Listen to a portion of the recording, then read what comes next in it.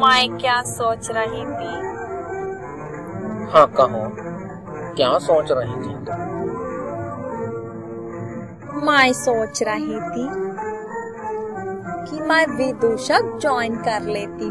बहुत ही अच्छा शो होता है उनका। मुझे बड़ा मन हो रहा है नाटक नौटंकी करने का। ये क्या कह रही हो तुम? तुम्हें पता है वो लोग क्या क्या करते हैं? Drama, action, romance, dance, emotion, सब कुछ करते हैं। और तो और, बिना किसी स्क्रिप्ट के बहुत सारे इम्प्रोव शोज़ भी करते हैं। क्या तुमसे हो सकेगा ये सब? देखिए ट्राई किए बिना कैसे पता चलेगा?